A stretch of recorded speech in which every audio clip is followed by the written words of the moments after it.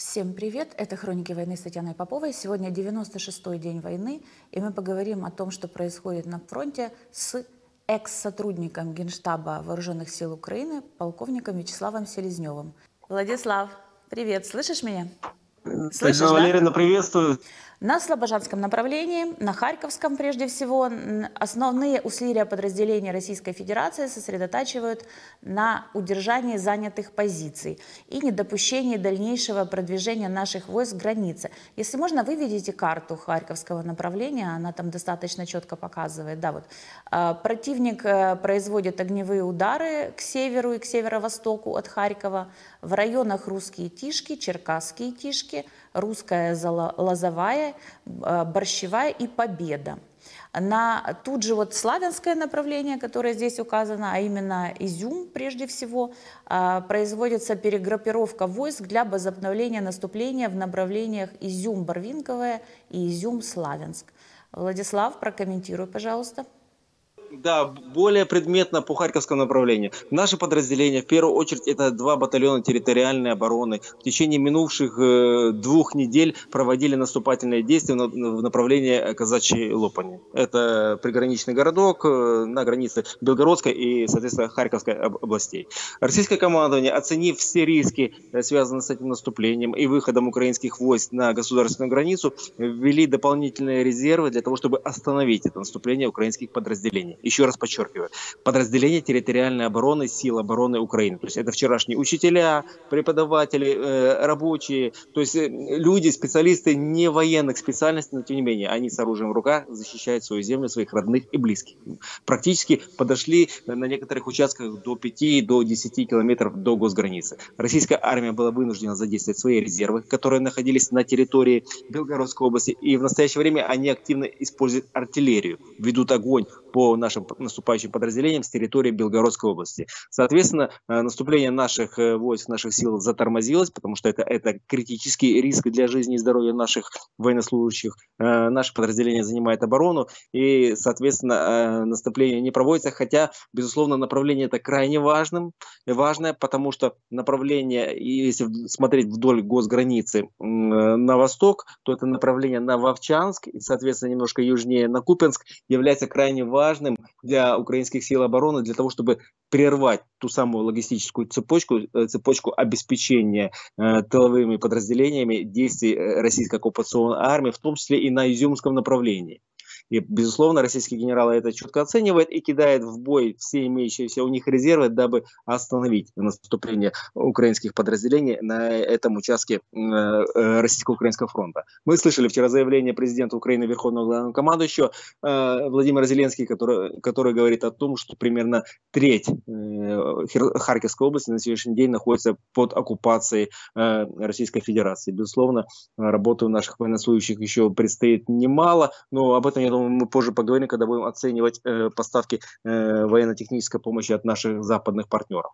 А что касается э, ситуации вокруг Изюма, то мы слышим от э, спикеров Генерального штаба, что там сейчас российская оккупационная армия проводит определенные перегруппировки сил и средств, э, ведет артиллерийский э, огонь по нашим позициям, использует тактическую авиацию, это фактически штурмовики класса Су-25, так называемые грачи, для того, чтобы не дать возможность действовать активно, контрнаступать нашим подразделениям. То есть ситуация достаточно динамичная, но в настоящее время Изюмское направление не является основным театром боевых действий, потому потому как э, если мы смотрим дальше по сводке, э, иные направления российско-украинского фронта являются наиболее такими критичными и наиболее жесткими.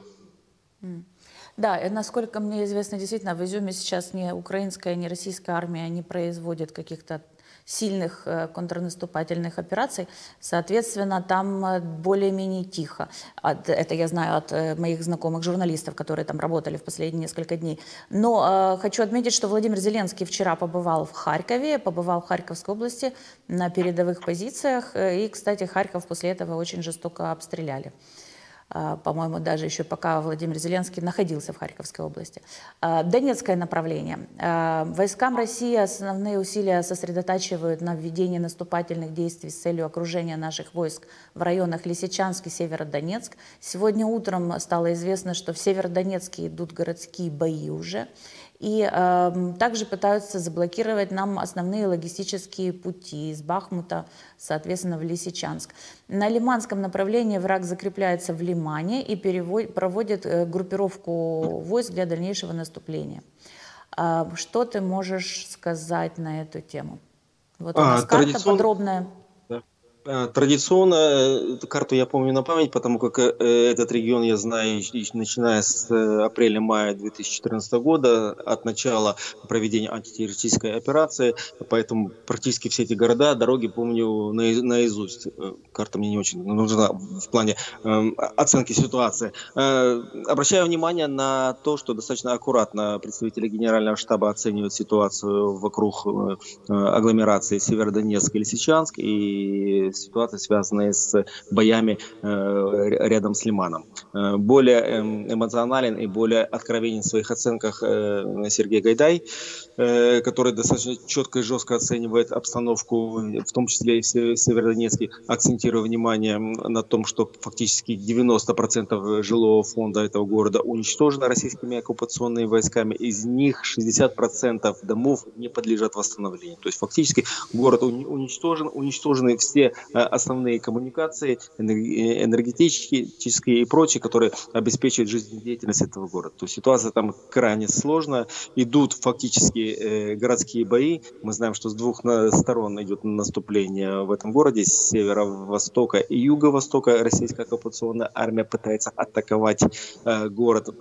И Это мы говорим про Северодонецк же, правильно? Лиман-то да, под да, контролем говорим, России. Да, да, мы mm-hmm. говорим про Северодонецк, именно там сейчас э, наиболее сложная ситуация. С одной стороны, я понимаю, что ведение городских боев является одним из самых сложных видов э, боя, но тем не менее, соответствующие резервы, э, с потерями которых российские оккупационные войска не считаются, дает свои результаты. Наши подразделения вынуждены маневрировать, на отдельных участках отступать, и, безусловно, ситуация там крайне сложная. Мы понимаем, что в настоящее время полностью город Лиман находится под под контролем э, российской оккупационной армии. В настоящее время там происходит так называемая перегруппировка войск, то есть россияне снова же таки подтягивают резервы, а далее, э, чтобы определяться, куда они будут ввести э, свои войска в наступление. Полагаю, что, скорее всего, в направлении Славянска для того, чтобы усилить действия российских оккупационных подразделений, которые пытаются действовать со стороны Изюма, в, по той трассе э, Изюм-Славянск пытаются атаковать, будут пытаться атаковать наши подразделения. То есть э, под угрозой в настоящее время находится и городская агломерация, перспектива, э, городская агломерация Славянск-Краматорск и те заявления представителей э, местных органов самоуправления, в том числе Славянска, которые говорят, э, обращаясь к мирным жителям этих городов, дорогие наши э, жители, эвакуируйтесь, потому как э, мы на пороге э, масштабных изменений и риск ведения серьезных боевых действий с активным использованием авиации, артиллерии российской стороной, что в свою очередь приведет к значительным и масштабным разрушениям в этих городах, безусловно, очень велик. А, поэтому, безусловно, внимание на события в районе Лимана в районе Попасной, а там э, наше подразделение э, вчера провели ряд удачных э, контрата контратак на некоторых участках, отдавили оккупационные войска Российской Федерации, потому как они в своем стремлении загрести чем больше территории нашей земли, загоняют себя в заведомо не, не, неудоб, на заведомо неудобные позиции. Украинское подразделение при поддержке украинской артиллерии имеет возможность уничтожать эти атакующие силы врага и на некоторых участках проводить определенные контрнаступательные действия. Но в любом случае, если мы берем именно восточное направление, наиболее сложная ситуация это Северодонецк или Сичанск, это попытка уничтожить э, пути снабжения между Бахмутом и Лисичанском. И я сразу вспоминаю события февраля 2015 года. Мы прекрасно с вами помним ту самую дорогу жизни которая соединяла а, осажденное, окруженное с всех сторон Дебальцево с большой землей. И именно по этой дороге российские танкисты в феврале 2015 года вели активные обстрелы с целью уничтожать не только логистические маршруты, эм, которые обеспечивали украинские подразделения, находящиеся на Дебальцевском плацдарме, они просто уничтожали автомобили с мирными жителями, эвакуационные караваны э, с целью нанести как можно больший урон гражданским лицам, которые спешно эвакуировались из осажденного Дебальцева. Да, да, Бахмут действительно, да. он производит такое впечатление мирного города вроде бы, да, а потом внезапно происходит там авианалет, например. Это вот то, что мне рассказал, опять-таки, мой знакомый, который там был пару дней назад. А, значит, на Бахмутском направлении осуществляют также перегруппировку войск, ну, с тем, чтобы уже прежде всего а, для наступления в направлении Александрополья и Камышеваха. На Кураховском и Новопавловском направлениях противник активных боевых действий пока не вел, совершает огневое поражение наших территорий, в том числе с применением оперативно-тактической и армейской авиации. А если можно, прокомментирую вот это и прокомментирую еще, правильно я понимаю, что они э, просто глубоко не залетают на контролируемые нами территории, поэтому мы ну, там, минимально можем сбивать их какие-то летательные объекты. А что происходит на Кураховском направлении? Э, в течение восьми лет, э, начиная от э, лета 2015 года, наши подразделения активно усиливали оборону на направлении Маринка-Курахова. Там много, глубоко эшелонированная оборона, есть соответствующие долговременные огневые точки, есть пристреленные участки местности, пристреленные украинскими артиллеристами. И наши подразделения, которые дислоцируются на этом участке российского Украинского фронта имеет возможность действовать максимально эффективно, нанося поражение врагу, где бы он на этом участке фронта не пытался нас атаковать. Именно поэтому затяжные достаточно бои идут, именно поэтому в течение долгого времени в лоб российская оккупационная армия не может пробить нашу оборону. Равно такая же ситуация э, происходит на Авдеевском направлении, там тоже враг фактически три месяца лупит в лоб и по нашим подразделениям и не в состоянии ни, ни, ни что сделать,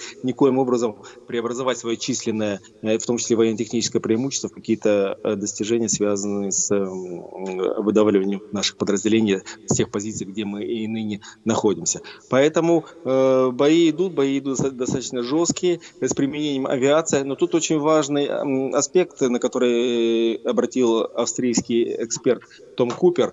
Он говорит о том, что как бы громко не звучало, штурмовая авиация и ее боевая работа, речь идет про российскую штурмовую авиацию, с учетом того, что э, подразделения наших э, войск, украинских войск, достаточно серьезно насыщены средствами, которые, э, портативными средствами, которые позволяют работать против этих штурмовиков, российские летчики крайне осторожно действовать, не входят в зону действия украинских ПВО, совершают пуски, в том числе неуправляемых ракет за пределами действия украинских ПВО, то есть фактически не пересекая линию фронта, и чаще всего всего эти ракеты летят в белый свет как копеечку, не нанося серьезного урона э, нашим подразделениям. Э, хорошая тактика наших э, украинских подразделений связана с тем, что оборона наших войск не только прекрасно насыщена противотанковыми средствами, но и средствами борьбы с самолетом дает нам ту самую уверенность, что огневое влияние российской штурмовой авиации на наши подразделения незначительно. Что нельзя сказать об огневом огромном влиянии российских артиллерийских средств. Мы видим, что в последнее время э, российские артиллеристы перенимают опыт украинских э, гармашей, э, корректируют ведение артиллерийского огня с помощью беспилотных летательных аппаратов. Вчера неоднократно мелькала информация о том, что русские оккупанты начинают все активнее использовать дроны «Камикадзе» класса «Куб», достаточно опасное оружие, которая позволяет э, наносить точечные и максимально эм, эффективные э, огневые поражения по, по нашим позициям. И тут, безусловно, опять же добавляется работы э, нашим подразделениям противовоздушной обороны, потому как унич... каждый уничтоженный дрон Камикадзе – это спасенные жизни, спасенное здоровье наших военнослужащих. Кстати, не так давно слышал умозаключение еще одного эксперта, это азербайджанский эксперт Агили Рустамадзе, который говорит о том, что фактически эту войну если мы ведем э, речь о ее динамике и скорейшем э, благоприятном исходе для украинской армии, можно выиграть с помощью буквально тысячи, может быть, полутора тысячи дронов камикадзе, которые мы вполне, вполне по силам э, произвести и передать нашим западным партнерам, а, соответственно, украинским военнослужащим, пройдя краткий курс обучения, эффективно использовать такие виды огневого поражения по врагу. Так, запорожское направление. Усилили группировку россияне за счет перемещения из Мелитополя в направлении Васильевка техники, танки, грузовики с, э, техни... ну, с каким-то оборудованием и боеприпасами. Э, как ты можешь прокомментировать это? Татьяна Валерьевна, прекрасная история. 120 единиц бронетехники в абсолютном своем большинстве это танки Т-62. Прекрасный танк, выпущенный в начале 60-х годов. Э, такая себе глубокая модернизация более раннего танка Т-55. Он вообще выпускался после Второй мировой войны э, советским э, средним машиностроением. То есть древняя болванка бронированная с одной стороны, а с другой стороны, если этот танк зарыть в землю, создать соответствующие условия для э, его ее военной эксплуатации, э, автоматически этот танк превращается в долговременное огневое средство, достаточно серьезно защищенное и способное вести достаточно долгое время оборонительные бои. То есть фактически российская оккупационная армия на этом направлении формирует определенный э, бронекулак, оборонительные позиции. Мы слышали с вами неоднократно, что э, в настоящее время российская оккупационная армия создает уже третью линию обороны, потому как прогнозирует, что при получ... украинская армия при получении соответствующих э, военно-технических резервов от наших западных партнеров будет иметь возможность не только эффективно сдерживать противника, но и переходить на многих участках фронта в контратаке и выдавливать российскую оккупационную вооруженные войска с территории нашей земли. А совершенно очевидно, что э, ключевой момент в этом процессе э, наши, э, все эксперты связывают с достаточным э, количеством э, средств огневого поражения. В первую очередь э, крупнокалиберных артиллерийских систем класса М, М3 семерки, либо их аналогов на самоходном шасси. Э, точное, эффективное и достаточно э, жесткое по отношению к врагам оружие, которое позволяет э, с минимальным эм, расходом боеприпасов уничтожать фактически все огневые точки противника, проводить эффективную контрбатарейную борьбу и, соответственно, уничтожать все огневые средства, живую силу и бронетехнику противника. Ну, насколько я понимаю, заявление даже министра обороны, и насколько я слышала когда еще начиналось только обучение наших военных, э, эти э, М777 гаубицы, они уже в войсках на 85 или 90 процентов на линии фронта. А, да, да, по порядка 100 штук этих гаубиц передала нам американская сторона, плюс мы э, получили два транша от э, наших партнеров из Австралии, э, плюс 7 единиц такого класса оружия, но на но самоходки. Это артиллерийские системы класса «Цезарь» мы получили от французов, Плюс еще ряд наших э, западных партнеров передали эту технику, в том числе и пришли они к нам от э, э чехов, и от чехов там э, артиллерийской системы класса Дана, тоже с 55-го калибра. То есть достаточно э, серьезное подкрепление, серьезно, но недостаточно, потому как мы понимаем, что Недостаточное соотношение... по количеству или это просто да, недостаточно? И по количеству? Именно по количеству, по количеству, потому как мы, опять же, слышали из заявлений президента э, нашей страны, э, соотношение артиллерийских средств на некоторых участках фронта в пользу россиян составляет 1 к 5. Безусловно, э, при таких условиях вести эффективную контрбатарейную борьбу крайне-крайне сложно. То есть наши орудия точнее, дальше, но их намного меньше. И с учетом того, что у наших уважаемых партнеров из-за океана э, порядка двух тысяч единиц вот этих вот пушек класса М3 семерки, было бы замечательно для того, чтобы э, украинские подразделения чем скорее вышли на э, государственные границы нашей, нашей, нашей страны, э, получить бы еще несколько сотен таких артиллерийских систем, соответствующее количество артиллерийских снарядов к ним, для того, чтобы украинская армия была более эффективной и, чем скорее уничтожала врага, потому как мы прекрасно понимаем, что наиболее эффективное противостояние с таким жестоким врагом, как российская российская оккупационная армия, это физическое уничтожение э, российских солдат с оружием, уничтожение их бронетехники, их опорных пунктов и вообще всех сил и средств, которые используют российские генералы э, во время атаки на нашу государственную границу и на наши э, территории.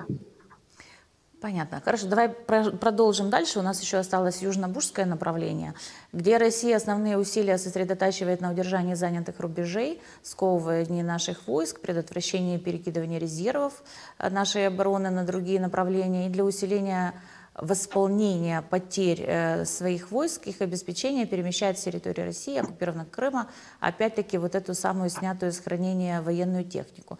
На Николаевском направлении при этом с целью проведения наступательных действий по возвращению утраченных позиций противник перекинул войска и технику в, направлении, в этом направлении. И на Криворужском направлении тоже ведет контрбатарейную борьбу. Что ты можешь сказать про Никола... Э, Николаевское и Криворужское направление? А, по Кривому Рогу российская оккупационная армия э, ведет практически непрестанно артиллерийский огонь, использует реактивные системы залпового огня. Мы постоянно видим сообщения представителей местного органа э, самоуправления о том, что э, в, там, в тех или иных районах Кривого Рога или населенных пунктов, которые находятся недалеко от этого города, происходят разрывы артиллерийских боеприпасов, ракет.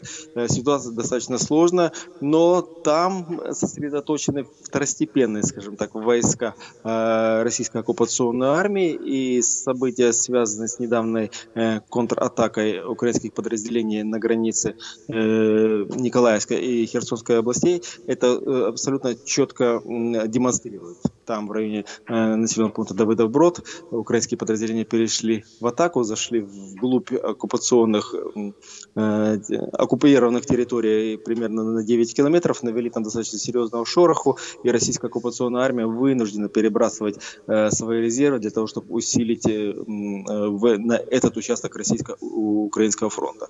В любом случае ситуация на Николаевском и Криворожском направлении остается крайне сложным, потому как постоянные обстрелы э, с помощью артиллерийских средств ведут российские оккупационные войска, уж чего-чего, а снарядов э, к артиллерийским системам у россиян очень много. Логистические цепочки работают, в том числе они работают через территорию временно оккупированного Крыма. Тот Всем э, хорошо известный Крымский мост используется как основной такой источник или основной такой коммуникатор, э, через который поставляются боеприпасы для российских оккупационных войск. И мы прекрасно понимаем, что все эти интеграционные процессы, э, которые затеяла Российская Федерация, строительство трассы Тавриды, Таврида, строительство, опять же, того же Крымского моста, оно связано не с тем, чтобы обеспечить хорошую хорошую логистику для жителей Российской Федерации, которые время от времени при, приезжали в э, в, оккупированный Крым, а с целью обеспечения качественной, бесперебойной и эффективной логистики э, российских оккупационных войск. Вот теперь мы эту историю наблюдаем во всей красе и прекрасно оцениваем э, все перспективы. То есть до тех пор, пока мы не получим в товарных количествах артиллерийские средства, реактивные системы залпового огня, которые способны работать на расстояниях от 70 до 300 километров, э, и, и при этом э, нанося высокоточные, буквально скальпельные удары по огневым средствам противника, по средствам доставки, по командным пунктам, по местам сосредоточения российских войск и техники, до тех пор затяжная война с большими потерями, в том том числе территориальными потерями, будет продолжаться. Да, это Черноморская, Азовская операционные зоны.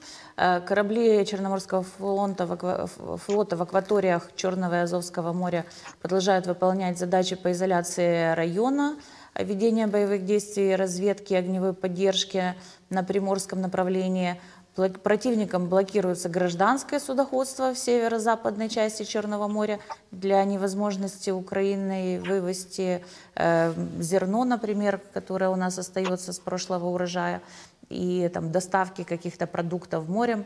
В готовности к применению ракетного вооружения в акватории Черного моря находится один носитель э, для ракет э, корабельного базирования «Калибр», э, вроде как суммарный залп до 8 ракет.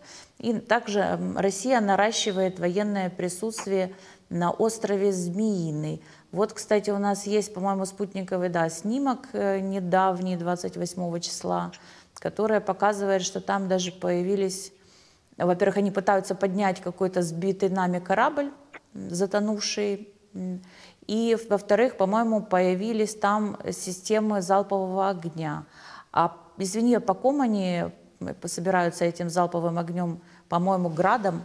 Он же не, не дальний. По ком они собираются стрелять? По э, торговым кораблям? А, во-первых, с какой целью они пытаются э, поднять затонувший возле пирса э, катер класса Серна? А, в свое время наши ракетчики отработали максимально эффективно, уничтожили этот катер и фактически к причалу с одной из, к одной из причальных стенок не может подойти ни одно судно из состава Черноморского флота Российской Федерации. Именно с этой целью проводится эм, это эвакуационное мероприятие. В то же самое время э, то, что россияне стянули на украинский остров Змеиный достаточно большое количество э, средств, в том числе противовоздушной обороны, э, фактически они таким образом пытаются реализовать свою давнюю мечту, обеспечить так называемый противовоздушный зонтик для действия российского Черноморского флота и его кораблей, подводных лодок, в том числе десантных кораблей э, в северо-западной акватории Черного моря. Будут ли они проводить десантную э, морскую операцию в направлении Одессы или же самопровозглашенной Приднестровской Молдавской Республики? Вопрос пока открытый.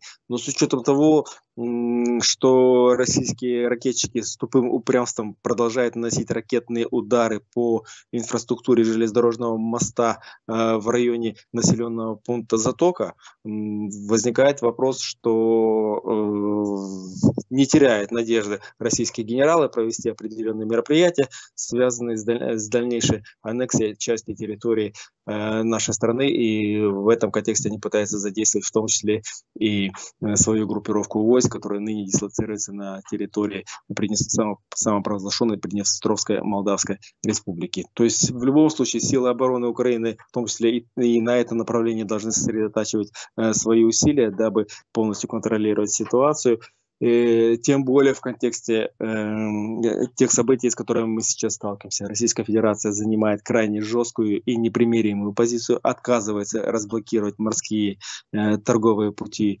для Украины, э, для того, чтобы мы имели возможность перемещать грузы, э, как в торговые порты э, Ильичевска, э, Южного и Одессы, так и из них. Поэтому, безусловно, ситуация остается достаточно сложная. Сил и средств у украинской стороны, несмотря про декларирование о том, что мы получили британские системы, э, противокорабельные системы класса «Гарпун», пока еще ситуация достаточно шаткая. Нет у меня полной уверенности в том, что мы полностью э, контролируем эту ситуацию. И свидетельством того, вернее, этого является тот факт, что российские оккупационные войска достаточно вольготно себя чувствуют на украинском острове Змеиный, э, продолжают определенные мероприятия по усилению э, своих позиций на этом острове, и я задаюсь вопросом, почему не проводятся соответствующие мероприятия. Но думаю, что такая постановка вопроса, в общем-то, не очень есть корректной, потому как у генеральному штабу командования военно-морских сил виднее, каким образом, когда задействовать имеющиеся у них силы и средства для уничтожения нападения российских оккупантов на украинском острове Змеиный. Скажи мне, пожалуйста, Владислав, все-таки, а по ком они собираются стрелять градом? Они же со Змеиного градом до Одессы не дострелят, правильно? Безусловно, там по прямой до Одессы 130 километров. Ни град, ни точка У, ни смерч, ни ураган э, не, не Тогда, до, а по ком они собираются стрелять? Они думают, что мы корабли туда отправим какие-то или что? Э, дело в том, что э, вполне возможно они опасаются проведения морской десантной операции, э, которую может организовать военно-морские силы Украины. Определенные силы и средства у наших моряков есть. Поэтому вполне возможно для, для прикрытия прибрежной зоны украинского острова Змеиный россияне пытаются создать такую группировку сил и средств, в том числе с использованием реактивных систем залпового огня. Но абсолютно нелепое решение, потому как при наличии достаточного количества э, ракет класса «Нептун» или класса «Гарпун» э, эту операцию можно провести дистанционно. То есть война современного четвертого поколения подразумевает ведение боевых действий на расстоянии 100, 120, 130 километров. Ну, это Поэтому... если думать, что они собираются воевать с нашими военными кораблями. А если они собираются топить э, там сухогрузы, которые будут вывозить зерно, это немножко другая история, знаешь? То есть, возможно, да, они безусловно. собираются их применять против мирных э, обычных сухогрузов. Ну, мне кажется, это достаточно безумная идея, но с учетом... Что, уже потопили, безумных... по-моему, корабль, который шел с грузом из Одессы э, какой-то панамский или какой-то страны, не Украины? С, с начала войны порядка трех кораблей абсолютно мирных, которые э, ходили в акватории Черного моря под э, флагами не Украины, э, получили повреждения. То есть э, российская оккупационная армия фиксирует э, северо-западную часть э, Черного моря как территорию, где якобы проводится некая контртеррористическая операция. Поэтому они стягивают туда э, свои корабли разных классов и считает себя вправе вести а, огонь по этим кораблям. Но, опять же, старая добрая истина, Путин его генералы понимают только э, силу и в состоянии реагировать только на такие позиции, в том числе идти на определенные уступки. Поэтому э, те проекты, которые в настоящее время рассматриваются украинским дипломатическим корпусом, в том числе с привлечением э, турецкого военного флота для организации соответствующих торговых конвоев в, и, из Одессы, это, как по мне, хор хорошая идея. Будет ли она реализована, пойдет ли на это э, турецкое правительство, вопрос открытый. Но то, что любой возмутитель спокойствия и хулиган мирового масштаба должен быть э, при, приведен в нормальное русло, для меня это совершенно очевидно. Когда этот процесс будет реализован, какими силами и средствами, вопрос пока открытый. Но в любом случае совершенно очевидно, что уговоры, э, примирения, попытки ублажить ни к чему хорошему это не приводит, а современная история человечества прекрасно помнит события э, порядка там 36-39 годов минувшего столетия и к чему они в конце концов привели. Да, ну и теперь мы перешли э, к поставкам техники. О гаубицах ты, в принципе, уже все рассказал. А, если можно, давай поговорим об РСЗО, о вот этом американском, о котором все так много говорят в последние дни. У нас, по-моему, даже есть видео, как оно работает. Если можно, прокомментируй, пожалуйста, почему оно так необходимо, когда оно появится уже на полях сражений и э, почему такая задержка какая-то происходит. И РСЗМО класса МЛРС и реактивная система залпового огня класса Химарис прекрасные, современные, высокоточные, высокотехнологические средства огневого поражения. Работают на большие расстояния, причем на расстоянии на порядок больше, чем э, российские и советские аналоги класса Град, Смерч и Ураган. Работают максимально точно, то есть отклонение ракеты от э, точки прицеливания составляет ну, буквально несколько метров. Э, причем реактивные системы класса э, Химарис, они способны работать на расстояниях от 70 до 300 километров, то есть ну, в зависимости от типа боеприпаса, соответственно.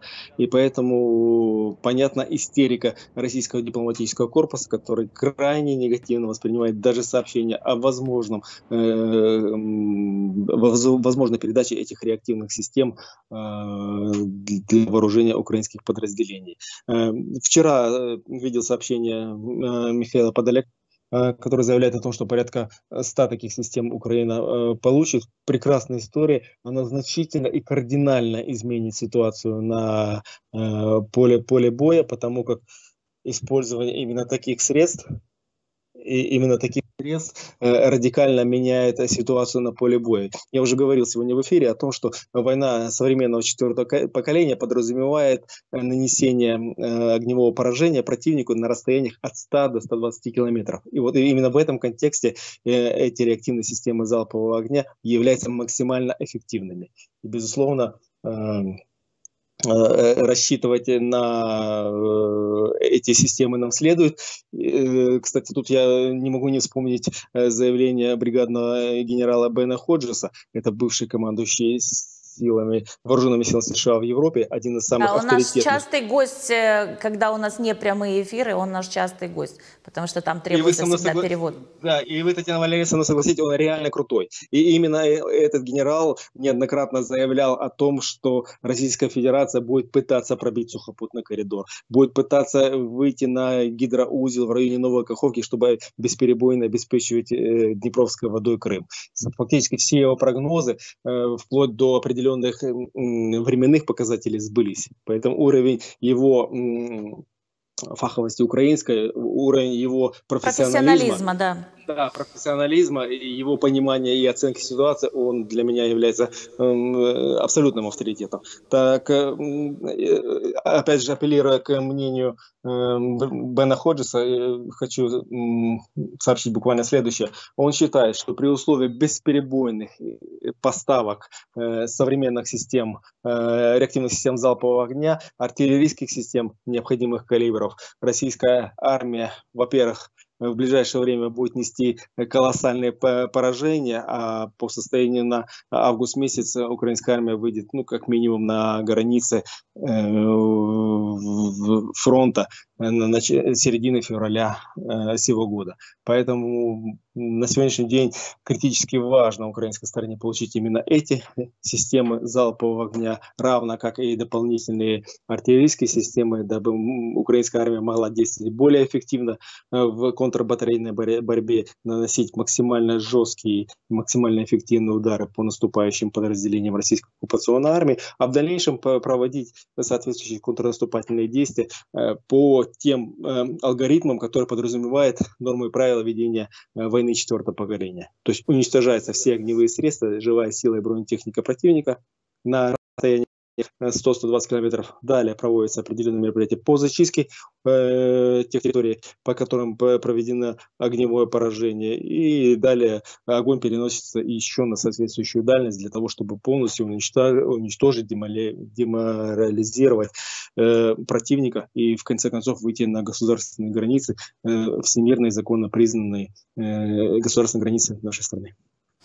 Так, Владислав, мы все прекрасно с тобой обсудили о том, как нам помогают э, Соединенные Штаты Америки и Великобритания. У меня тут есть вопрос от одного тоже зрителя, который прислали мне в личку уже. Э, и он такой специфический по поводу Германии, которая нам вроде как подтвердила поставки, подтверждала, а потом оказалось, что никаких поставок нет. И вот вопрос, два вопроса, они звучат так. А, вот в связи с этими замедлениями поставок, какое влияние, если таковое имеется, имеют экс-штази, или коммунисты, э, занимающие сейчас посты в Германии, на ее нежелание, неспособность вооружить Украину. Ну и второе, это, это группа ветеранов Штази, коммунистов, э, видимо, хорошо известна и любима в самой Германии, раз э, ее сеть влияния позволяет не появляться публикациям о них, их именам, они не называются поименно, и они влияют настолько на политику Германии относительно Украины. Что ты можешь об этом сказать? И, кстати, о поставках. Там танки, да, они, кажется, нам обещали поставлять? Э, они обещали нам систему ПВО класса «Гепард» и э, БМП «Малдер». Э, и то, и то хорошая история, но, к сожалению, пока они к нам не пришли. И, в принципе, если мы говорим о поставках, то крайняя поставка от Германии для наших вооруженных сил была в конце марта. Мы получили Панцерфауст, это противотанковые гранатометы, и порядка полутора тысяч, и около двух тысяч Э, переносных э, э, ракетно-зенитных комплексов класса «Стрела-1». Причем выпущены они еще были до развала Советского Союза, где-то в середине 80-х. А помятуя о том, что определенные элементы на этих системах функционируют порядка там, 13-15 лет, можно представить уровень боевой готовности этих переносных зенитно-ракетных комплексов. То есть есть вопросы. Я не готов сказать, использует ли в настоящее время украинская армия эти системы система э, по признанному назначению, э, по причине того, готовы ли они к, к использованию или нет. Но а, что касаемо... я лично видела в материале CNN, как э, один из военных показывал, что вот у нас Панцерфаус где-то под Харьковом. Я, я делаю акцент именно на э, противоракетные комплексы э, «Стрела-1» еще советского, да, да, я поняла. образца. Да. Да, про Панцерфранс ничего не могу сказать. Э, надеюсь, что они работают, эффективно работают, и, и слава богу. Потому как а с чем ты связываешь нас... вот эти э, недостатки э, ну, обещания и невыполнения поставок?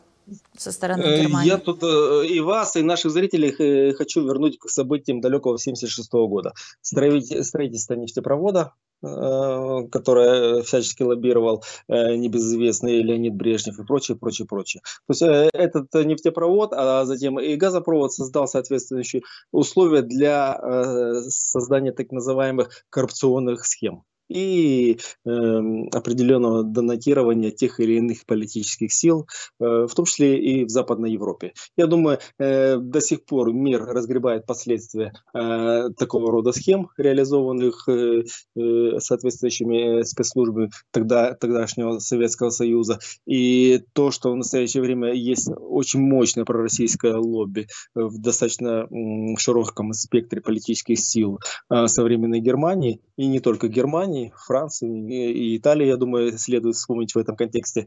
Безусловно, это э, э, очень серьезный риск для э, безопасного развития не только современной Европы, и, но и всего мира. Потому как лоббирование интересов, продвижение определенных российских нарративов, саботирование тех или иных решений, которые являются совершенно очевидными и крайне важными на данном этапе развития человечества, э, а, а, все это приводит к тому, что мир находится э, в зоне серьезных рисков. С одной стороны, э, коррупционные схемы и разложение определенной части э, политических и бизнес-элит коллективного Запада, а с другой стороны, риски понимания того, что попытка умиротворить агрессора может привести к катастрофическим планетарного масштаба последствиям. Поэтому, безусловно, тут очень важный аспект.